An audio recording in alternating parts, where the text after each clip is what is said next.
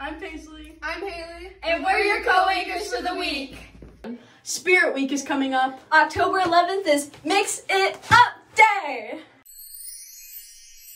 Hey Bulldogs, October 8th is food night. Make sure to bring your receipt to school and show your PE and math teacher for rewards such as SST passes. And make sure to have fun. 8th grade boys flag football tournament on October 9th. And girls volleyball also on October 9th. On October 10th at Springview cross country finals. I can't! Boys basketball tryouts are on October 8th and 10th at 2.30 to 3.30. Make sure to bring your blue medical form. And wrestling tryouts in December. hey 7th graders, there's going to be an informational Washington DC Zoom meeting coming soon. Why don't we go ask Miss Baker Davis to learn more about it? Yeah!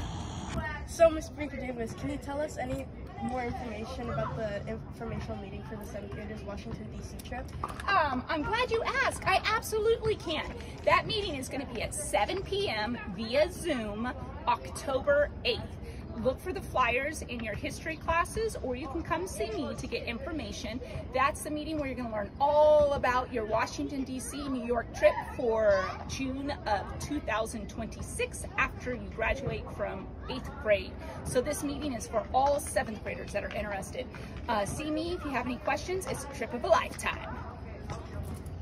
Hey, Miss Buchan, can you tell us something about Bully Prevention Month? Yes, October is always Bully Prevention Month. It's a month where we really promote um, positive student-to-student -student connections here on campus. Uh, throughout the month, we'll be having lunchtime activities and be sharing resources with parents and students.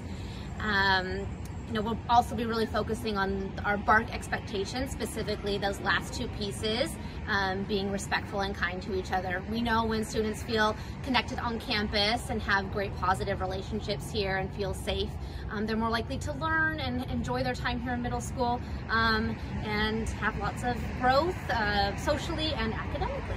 Sounds great. And this concludes this week's announcements.